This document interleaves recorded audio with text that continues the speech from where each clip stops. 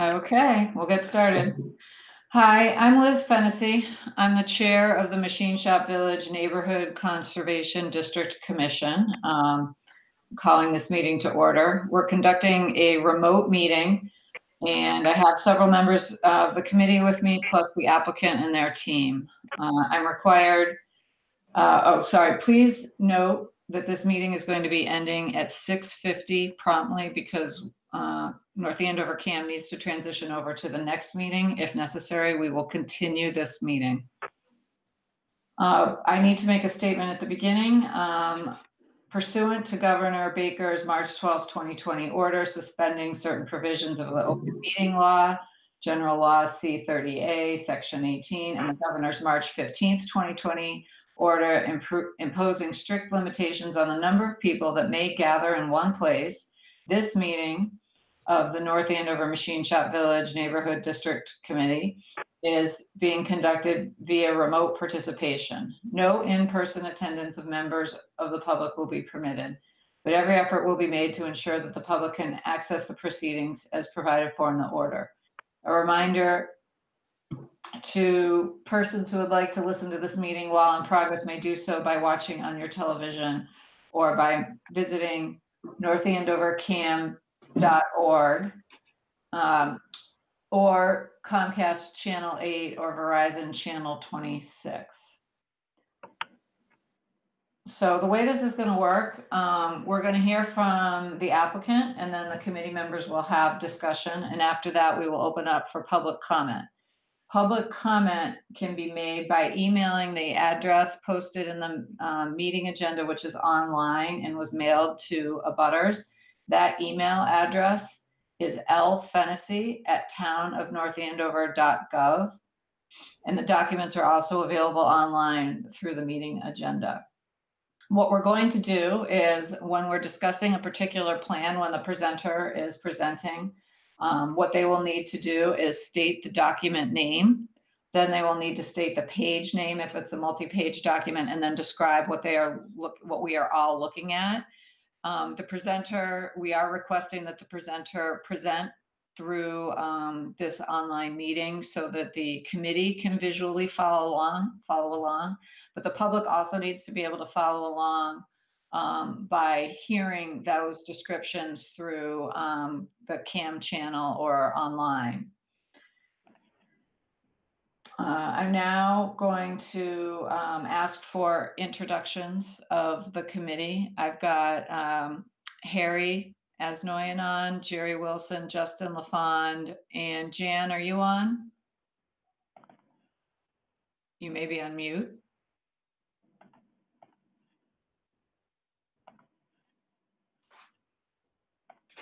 Does anyone see Jan? We do have a quorum, but. Okay. All right, maybe she's a little bit late. I would ask the um, applicant to introduce themselves and their uh, team, please.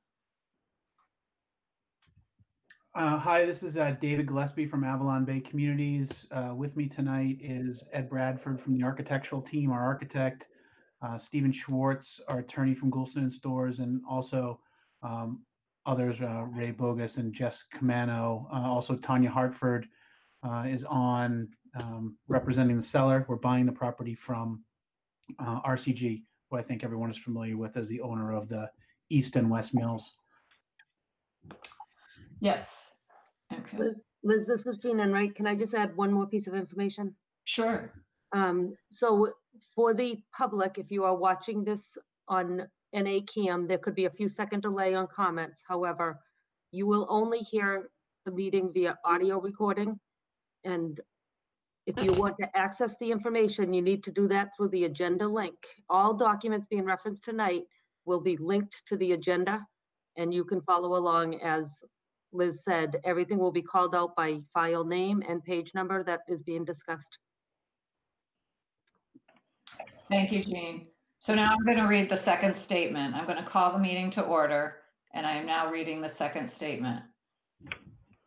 Pursuant to Governor Baker's March 12, 2020 order suspending certain provisions of the open meeting law, general law C30A, section 18, and the governor's March fifteenth, twenty twenty order imposing strict limitations on the number of people that may gather in one place. This public hearing of the Town of North Andover Machine Shop Village Neighborhood Conservation District Commission is being conducted via remote participation. No in-person attendance of members of the public will be permitted, but the public can listen to this meeting. Uh, may do so on their televisions by turning to Comcast Channel 8 or Verizon Channel 26 or online at northandovercam.org. Members of public, members of the public attending this meeting virtually will be allowed to make comments if they wish to do so during the portion of the hearing designated for public comment by emailing lfennessy@townofnorthandover.gov. And that email address and all the documents, as Jean said, are in the public agenda. Liz, Liz, I'm sorry, Jean Enright again. Could you actually spell out your email address? Sure. L Fennessy, that's the first initial L, F is in Frank, E N N E S S Y at town of North. Do you want me to spell all that? I'm gonna assume that people can spell the name of the town. Um, okay. As we get going, I just want to let the applicant and remind the public that the purpose of this committee is to preserve the fabric of Machine Shop Village. We do this by reviewing changes um, and new construction for compatibility with the existing building setting and the neighborhood character. Uh, we have design guidelines. They're online at the town, on the town website, stating uh, that new construction should be compatible and harmonious with the existing historic streetscape. The relationship of buildings to the street, including setbacks and open spaces, should be considered. And attention is given by this committee to construction materials, massing, and architectural details. Uh, I understand that this development has received its approvals from the planning board and ConCom. We will not be addressing those issues. We will be addressing the architectural details in the context of the character of the neighborhood. Do I have that correct, David, that you have ConCom and planning board? Yes, that's correct. Yeah, okay, thank you.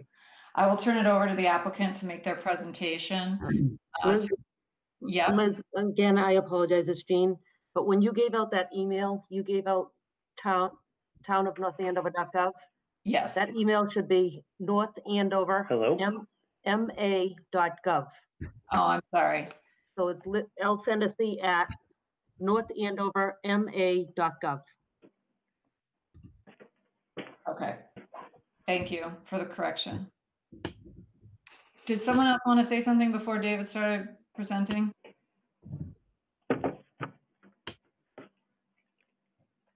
Okay. So, David, if you could share your documents, present, present, and then as you do that, um, just describe the document name and which page so that the public can follow along. Okay, let me, uh, or whoever's presenting. yeah. Uh, let me, let me just, um, I don't know if Ed Bradford, if you have the document up and you can present it. If not, I can. Uh, Let me just start with a quick introductory comment and then we can uh, get the presentation up. The document for everyone's, uh, that's following along is the document uh, 5720 AVB MSV presentation. That's the document we're going to be using tonight. Um, all that document is is a um, a reshuffling maybe of some of the materials into a more of a presentation format that we felt was easier to follow along tonight, uh, given the virtual nature of this meeting. Uh, first, just quickly, uh, I'd like to uh, thank everyone uh, for making the accommodation to meet tonight uh, in this unusual time and in these unusual circumstances. I hope everyone is doing well at home and families are well. This project has been under review in some form or fashion by the town of North Andover for over a year now. Uh, it is 170 units in two residential buildings with a single story clubhouse. And Ed Bradford from TAT will walk through um, walk through that design and how it fits into Machine Shop Village as a whole. Uh, as Liz, as we mentioned, we had special permit in February and the order of conditions in March. Um, with that, I will turn it over to um, Ed, who um, uh, first let me try to share my screen. Um,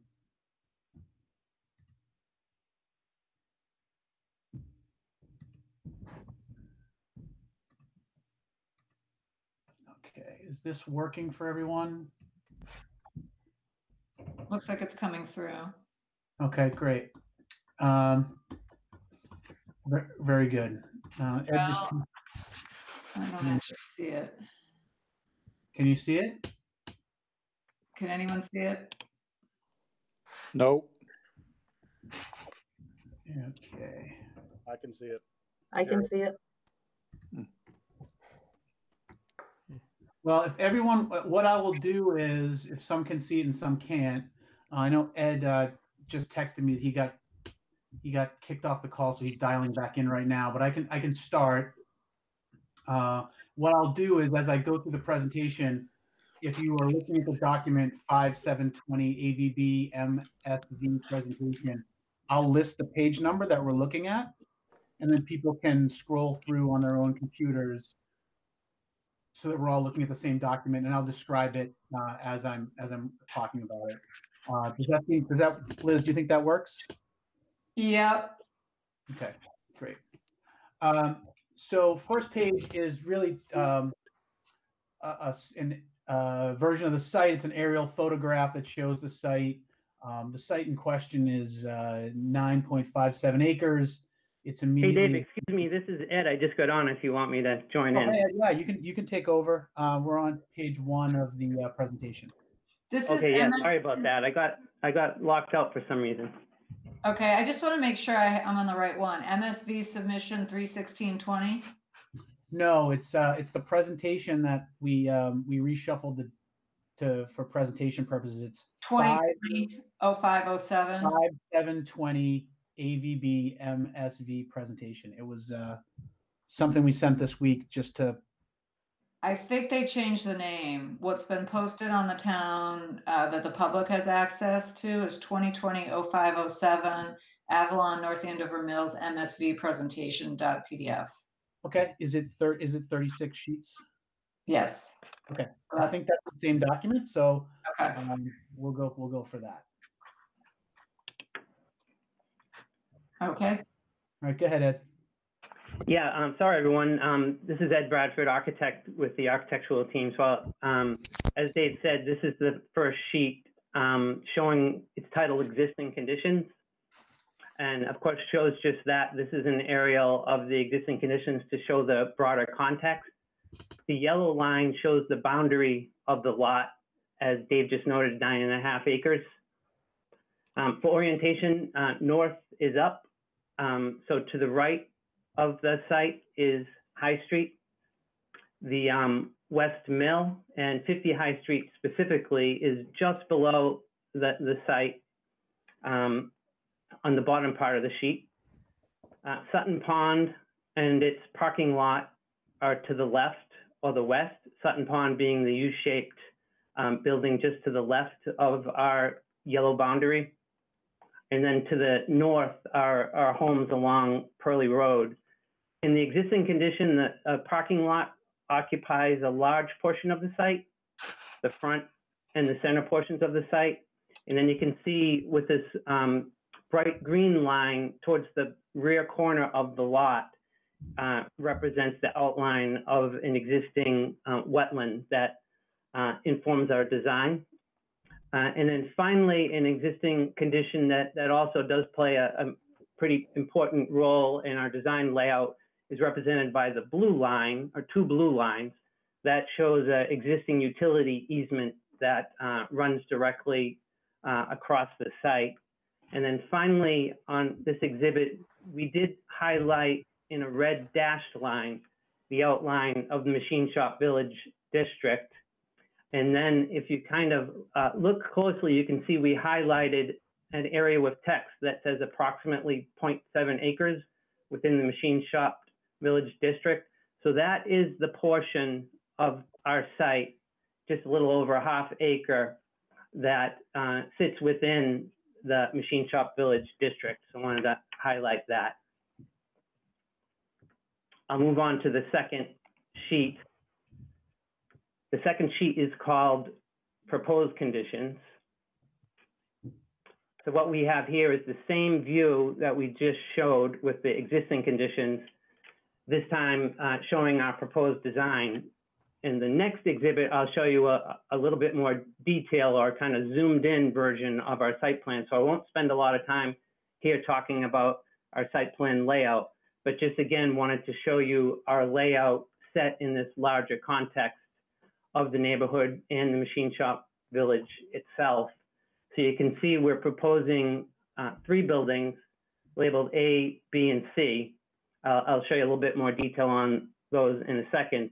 But um, building A and B are both four-story buildings, 85 units each, and building C is a one-story clubhouse. And again, going back to that 0.7 acres of overlap, if you will, between uh, the Avalon North Andover Mills parcel and the Machine Shop Village, you can see that Building A sits, um, or a good portion of Building A sits within the district itself, but Buildings B and C and the majority of the site are, are outside of the district to the north. I'll move to page three, which is called Site Plan. So here is an enlarged uh, view, more detailed view of our site plan. As I said, the site plan includes three proposed buildings. Building A in this orientation is towards the bottom of the sheet. Below that, you can see uh, a portion of Sutton Pond condominium. And then in the right-hand corner of the site, you can see the West Mill and 50 High Street. Um, building A again is a is a four-story, 85-unit building. Opposite that, you can see building B that kind of bends about the wetland and the wooded open space area that's behind it. And then building C, as I noted, is a is a one-story clubhouse that is the amenity and leasing center for the complex. These three buildings form a um, what we think will be a really wonderful, kind of gracious outdoor space with a pool courtyard. That's the um, primary recreational amenity for residents, south-facing. Um, that's again framed open space by the three buildings. So the placement of the buildings is is very much informed by the existing neighborhood and the context, and and consistent with the machine shop village design guidelines. We think compatible with the existing buildings in the neighborhood character and has very much been an emphasis in this design, um, uh, hearing neighborhood input and working with planning board members and others in the community to really em uh, emphasize uh, or minimize really the impact um, to a budding neighborhood.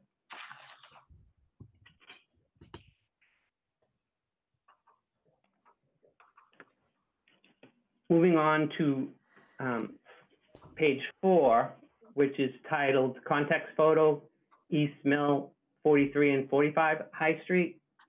So here we have a series of exhibits just to kind of take you on a, on a, on a photo tour, if you will, of the existing context, primarily within the Mill District itself. This first page, uh, as I said, page four, is of 43 and 45 High Street, and they're and buildings like many of the others in the district that are that are um, sort of solid uh, brick masonry buildings characterized by brick piers and and stone sills. Um, these are definitely features that I'll, I'll, show you shortly in our proposed design that that inform um, our design. Moving on to page five, it's titled West Mill 16 and 18 High Street, uh, context photo. And again, um, consistent with the prior image, uh, kind of solid brick masonry building, punched openings. Um, again, that definitely influenced our proposed design.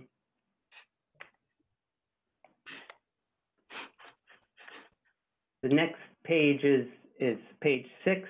It's titled um, West Mill, 50 High Street, and East Mill, 39 High Street. So in this view, you can see uh, this is kind of looking north on High Street to the left is, is 50 High Street. Um, that's the building, as, as folks, many folks know, I'm sure, is known as the um, former cement building from about 1920. Has kind of larger openings than many of the other mill buildings, and again, uh, a, a kind of pattern that informs what, what we're proposing. And then on the right, on along High Street in this view is 39 High Street. Um, this building from about 1917 has a kind of horizontal banding of concrete lintels um, and a kind of horizontal pattern that um, influences us as well.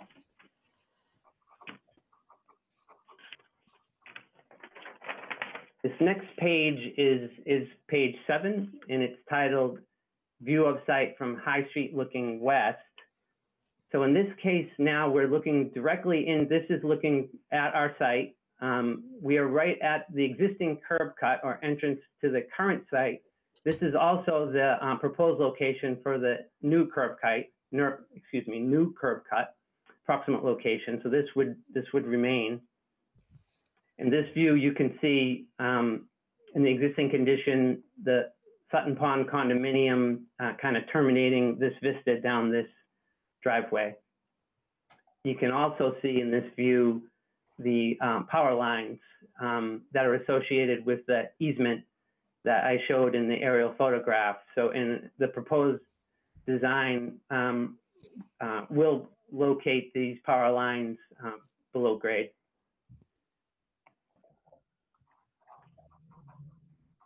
This is, I'm moving on now to, to page eight.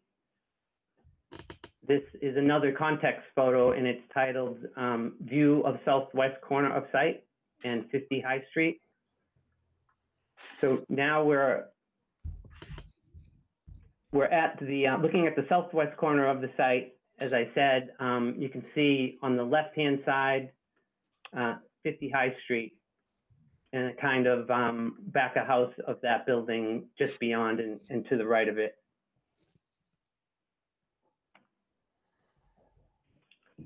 And moving on again to, to page nine, this is a, again another context photo. It's titled View of Site from High Street looking west. So this again is, we're, we're now located about at the intersection of High Street and Prescott. Looking into the site, you can see the um, power easement is, um, plays a pretty big role in the appearance of the site. And again, you can see the Sutton Pond condominiums just beyond. I'll move on to page 10. Um, couple more context photos and we'll move on to our proposed design. This, this now, page 10 is titled View of Northeast Corner of Site um, and 50 High Street. And so this again is from the northeast corner.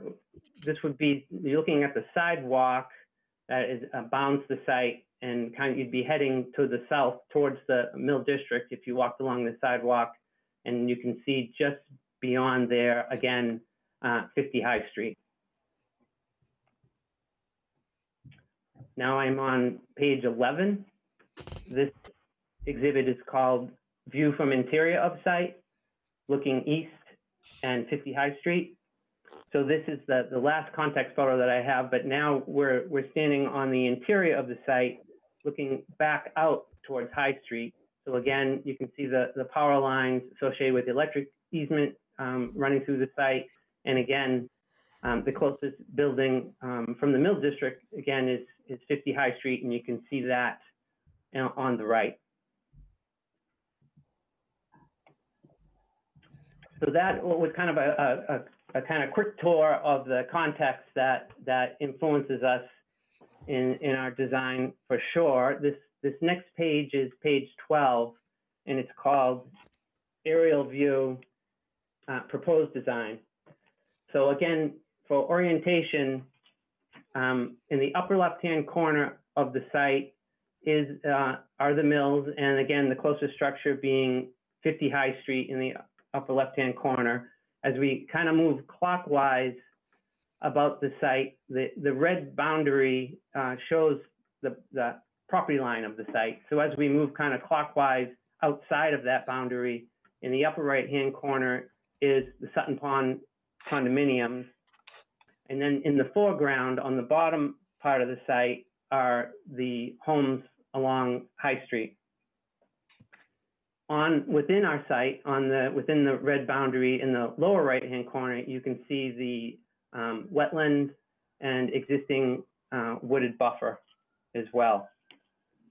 So again, uh, proposing three buildings, um, starting with um, Building A is the building that's closest to 50 High Street and Sutton Pond condominiums. That's the, the uppermost uh, top part of the sheet. That is Building A, again, uh, four stories. And we think it's a, a scale and massing that is very appropriate for the site uh, at this location. You, you can see, I think, a compatibility between its scale with, with not only 50 High Street, which is a bit taller than, than Building A, but a, a similar uh, massing. And then, of course, the Sutton Pond condominiums nearby as well. And then Building B is the um, four-story building towards the bottom of the sheet. Again, you can see it bending about the wetland, but again, um, placed like Building A away from the lower density homes along High Street. And in this case, a building that's very much oriented about the wetlands and, and the open space to the rear. And then the third building adjacent to that, again, is the one-story clubhouse, the amenity building and, and leasing center, the closest to the neighborhood, but again, purposefully located at that location because it's a scale that's certainly appropriate um, for the lower density neighborhood. So again, consistent with the with the machine shop design guidelines, we think the size and the shape of the proposed buildings are appropriate to the context. Um, uh, by the way, there was, a, of course, as, as you likely know, a lot of input from the planning board and the neighbors that resulted in important refinements to the design and, and we think improved the design in, in this regard as well. Um, before I move on to a few street views, I just want to highlight in this view, because I think it's helpful to see the larger context, our, our basic proposal for the architectural design, because it's, it's very much informed by, by the machine shop village architecture, and not only the language of the mill buildings themselves, but also the residential portions of the of the machine shop village as well as the as the broader neighborhood. So our our design, you can I think you can make out here, and, you, and if you can't, you will when I show you a more detailed view shortly. But for each of the four story buildings, we're proposing a kind of um, uh, brick bookend, if you will, or end cap, so the ends of each of these buildings are are clad in brick and in a kind of uh, architecture that responds um, very much to the mills, and we think is appropriate in this context again to the architecture of the mills and and also to the Sutton Pond condominium. And then between the brick bookends, if you will, of these end caps, there's a more residential texture that incorporates balconies and, and residential scaled windows and, and siding, and it provides a more distinctly uh, residential appearance.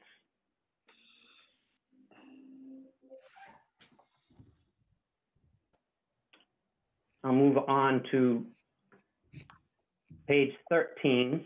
This is uh, titled View from High Street, November 2019. So what we have here now are a series of views from the public way, um, of course, High Street, showing the existing condition. That's what this shows, the existing condition. And then what we've done is we've cropped in our proposed design into these views so you can see the, um, the impact of our proposed designs on these particular vantage points. This one from High Street, we think is, is, is particularly important because of course we're, we're now standing within the Machine Shop Village district, and it's really the only vantage point from the district where where one could see, well, while standing within the district, one could see our proposed design. The, the boundary of the district would just be a few steps up High Street here.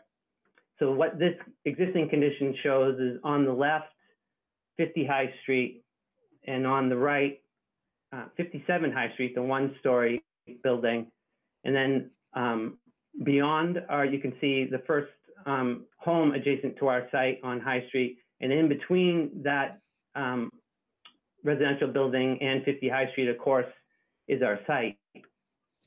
This again shows the um, November condition. We did uh, different views in different seasons to show the impact of um, trees with foliage and trees without. So this view moving on now shows the proposed condition. This is page 14. And it's a view, again, from High Street with the proposed condition. So in this case, you can see building A is visible. It's, um, if you're looking at the, the large structure of 50 High Street, it's just to the right there is the, is the end cap of building A. So again, um, consistent with their our kind of design approach, I think you can read a kind of solid masonry end cap with a, a flat roof that we think is complementary to the to the mill architecture. But also we've we've taken opportunity to incorporate kind of a, a more contemporary expression in some cases to kind of distinguish the proposed design from the existing mill. So in this case, kind of important from this vantage point, you can see a little bit lighter, more open corner of the building. And you can contrast that, of course, with 50 High Street and, and all the other mill buildings that have a, a more solid brick masonry corner. So again, lending a more kind of contemporary look for, for our proposed design. Even from this vantage point that is a ways away, you can start to read the, um, the brick piers as well. That's an important element in the design. But again, the basic concept is to orient these um, brick end caps um, towards the end of the buildings, in this case, oriented towards the mill district, and then make a transition to the more residential structure as you move away from these end caps. So this view, again, is from um, the, the fall. The next view, page 15, is from this very same vantage point showing the existing condition, but this time in the spring. Um, that this was exhibit, this particular exhibit we prepared for the planning board. They were interested in understanding the, um, the change again in season. I'll move on to page 16. Again, same vantage point, the same view from High Street, but of course you can see with um, foliage on the trees, the, the view to the proposed design in building A is, is obscured a bit by the trees and the foliage. Um, moving on now to page 17 is titled Panoramic View from High Street. So uh, this again, we've, like an earlier photo I showed, we've kind of moved up High Street. We're at the intersection with Prescott now, looking directly into the site. Again, 50 High Street to the left and the Sutton Pond condominiums um, beyond in the distance. Moving on to page 18, shows the same view now, of course, with the proposed condition. So you can see now, this is the same end cap of, of building A, that, that same masonry piece that is visible from, from High Street from this particular vantage point. And then um, you can see the parking that is in the foreground. We also prepared, I'm moving on to page 19, that's titled View from Sutton Pond Condominium Parking Lot. Again, this view was from the spring. Um, we prepared a, a couple views from um, the Sutton Pond condominium, the parking lot and courtyard to understand um, the, this vantage point from that perspective. So in this view, in the existing condition, you can see the uh, four-story Sutton Pond condominium to the left, and then the site is basically straight ahead here. So this is um, page 20, shows the proposed condition from the same vantage point. So just like the opposite end on High Street, each end of the building of the four-story buildings has the same brick bookend. Um, we think it's just as appropriate end of the site as it is to High Street because again, um, we think it's complementary to the brick cladding that's that's on the Sutton Pond condominium. And this is a view now you can start to see the a more residential texture that fills in between the between the brick end caps. So again, a residential texture of balconies.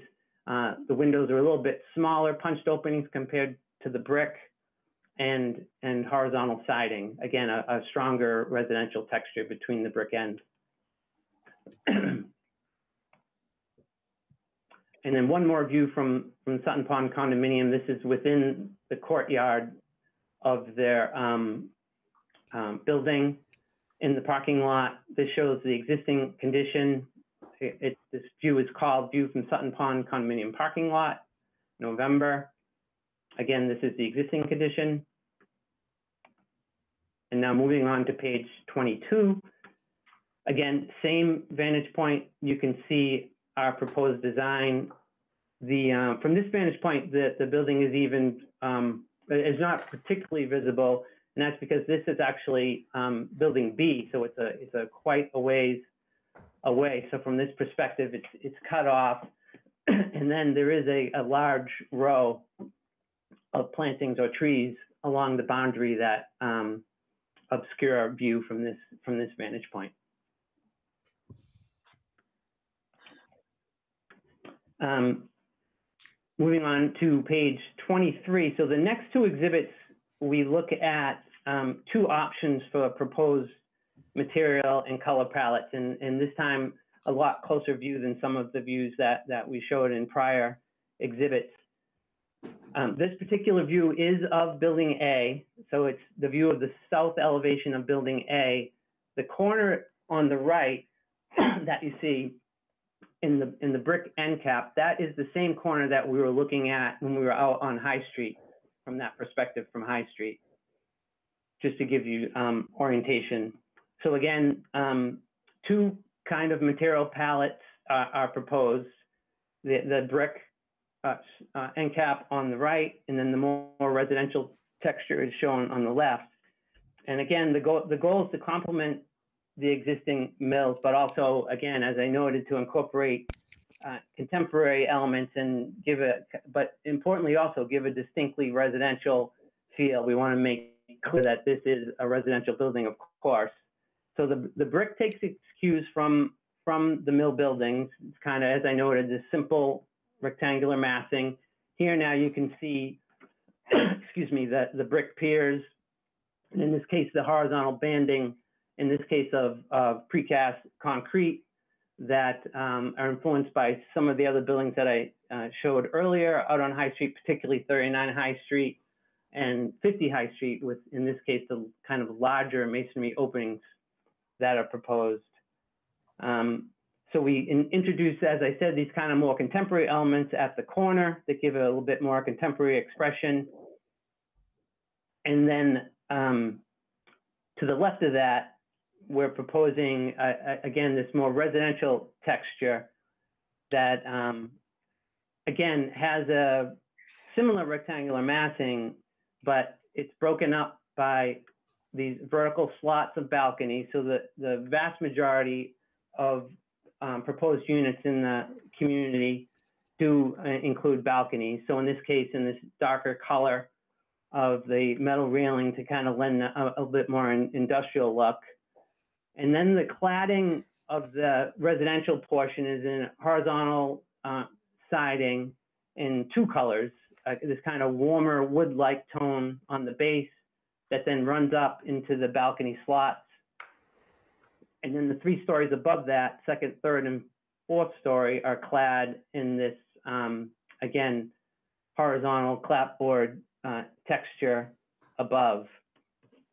And then kind of woven through both of these textures are these colored uh, cement board elements, a vertical one and a horizontal one that kind of weave their way through both the siding and through the brick elements. So you can see these gray vertical elements that are located generally within the window openings, and then within the same opening, these uh, darker horizontal elements that kind of lend the appearance of a, of a larger a larger opening within that field.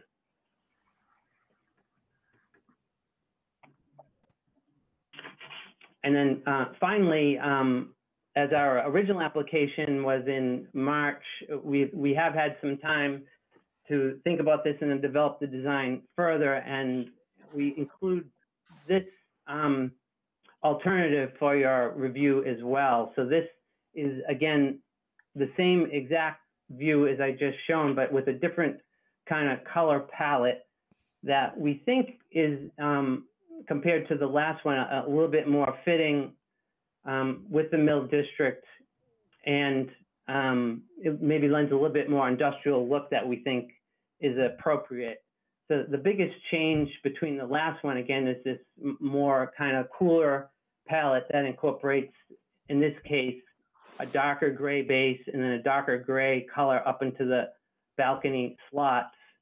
But then um, I think importantly, the cement board accents are much more prominent. So that vertical accent that was shown in alternative one now incorporates this red color that we think provides a little bit more visual interest, a little bit more kind of lively element. And then the horizontal panel we think is woven through both textures a little bit more successfully. So again, in the residential texture, you can see the horizontal gray cement board panel. And then that element, in this case, over in the brick, we kind of bring that into the brick element to kind of tie, tie the two together. Again, just like the last scheme, you can see the, the balconies in the darker color and the metal railing uh, lending that a little bit more industrial look.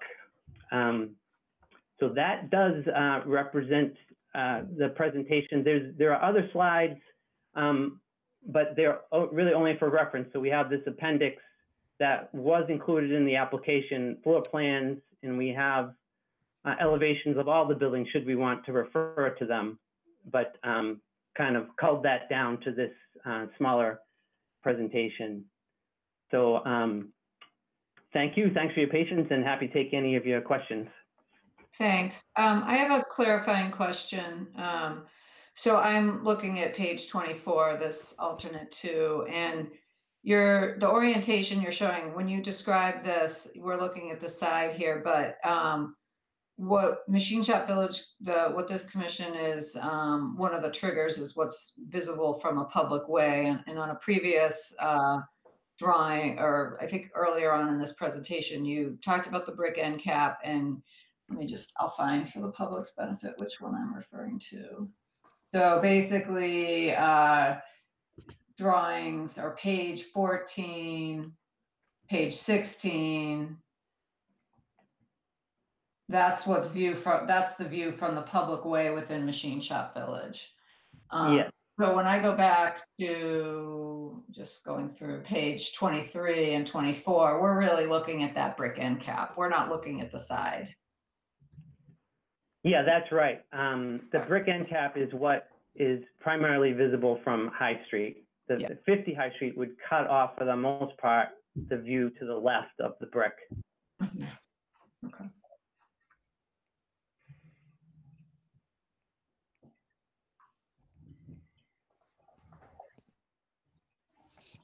Do the other committee members have questions?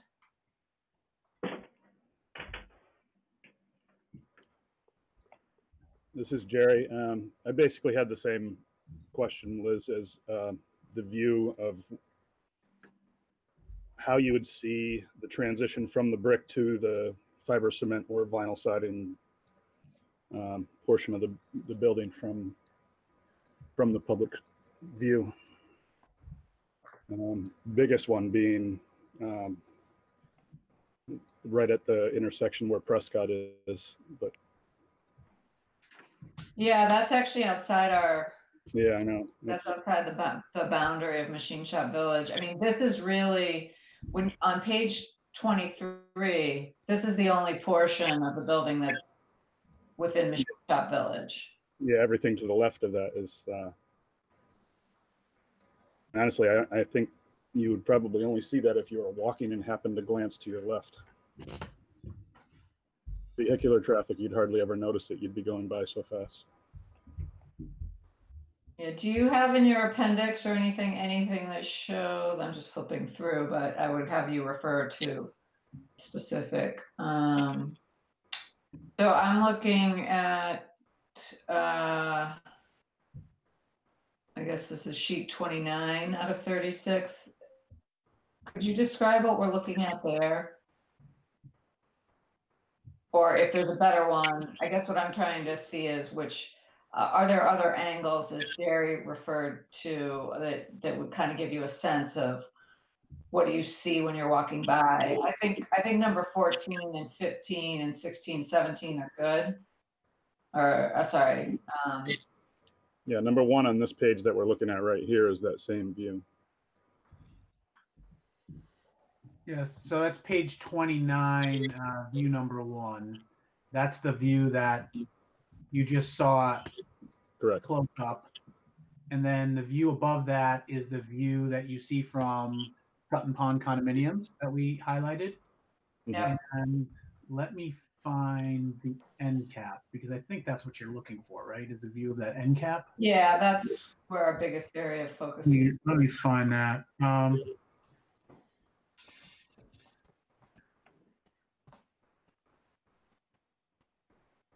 Ed, do you know which elevation building? Yeah. Yeah, Oh, I, I there- would go to page, there? page, um, That's it right there. page thirty-one. Is there Four on thirty-one? Yes, that, that shows the, Four on um, thirty-one is the, is the brick end cap facing High Street.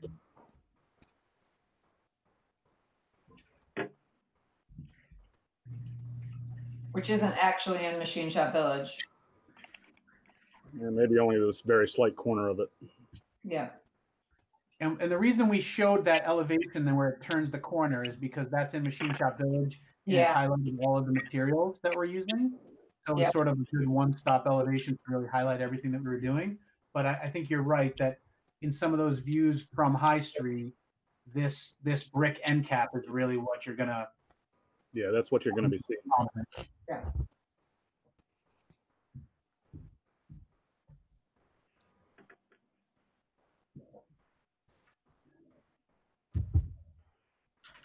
I mean, other, other than that, material wise, I mean, it's your choice, but I was just curious why you have fiber, fiber cement on the lower half and then you switch to a vinyl siding up above. Why not stick with the same color? Just stay with fiber cement. yeah, that's a more, a better material. Yeah. And you already got, you already got fiber cement down on the first floor and then two through four, you switch to a, a vinyl. Yeah, in, in this case, in one of the versions, we were looking at a, at a more wood-like um, texture, which is hard to get in the vinyl. But, but frankly, we've been finding on other communities, we've, we've, on some other communities we've done with Avalon Bay that the, the vinyl is, um, is, is holding up pretty well, actually, compared to the cement board. If you kind of go out 10 years, it's, it's, it's holding up better. So, um, but it's really, we, we think the kind of combination of, of all of these materials um, that are kind of important. So it, it's pretty common for us to kind of mix and match the, the vinyl and the cement board in order to kind of pull off uh, uh, the total execution of the design.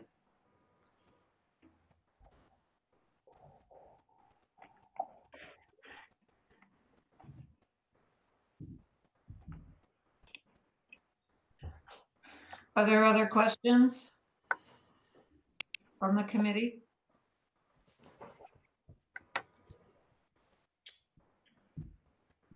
Hi there, this is Harry. Hi, I have a couple questions. So on the agenda, currently, the article in front of us is for uh, alteration or a variance. Um, it's an application for a certificate. So not a variance, We don't grant variances. because it says on the agenda variance. Does it say variance? Uh-huh. All right.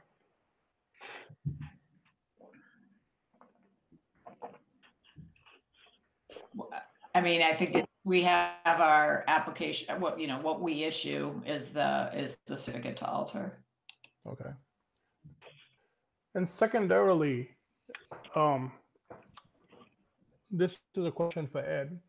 So in the views, Ed, part of the public way as it's defined in Machine Shop Village would also encompass the view looking out from the, the uh, retail stores in, in the mill section.